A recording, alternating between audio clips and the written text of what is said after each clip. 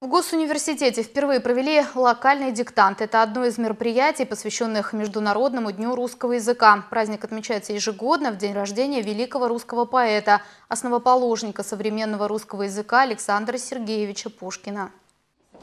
Снова вспомнить, что такое диктант, но уже не за школьной партой, а за университетской. Более 20 студентов со всех факультетов сегодня решили проверить себя на грамотность. Я считаю, каждый человек должен уметь правильно писать, и я решила просто проверить свои способности. Я считаю, что я справлюсь, потому что я сейчас на первом курсе, и до а, этого я училась в лицее на гуманитарном. Текст выбирали преподаватели филологического факультета. Художественной стилистики повествует о Таймырском озере. К слову, тот самый, что звучал на тотальном диктанте в 2006 году. Оценят уровень грамотности студентов уже сегодня специалисты русского языка Госуниверситета. Как только будут известны результаты, их опубликуют на сайте вуза. Это желание каждого студента проверить свою грамотность. Локальный диктант является одной из составляющих молодежного проекта «Пушкинские дни», который был инициирован в Год культуры, который сейчас э, проводится у нас в университете.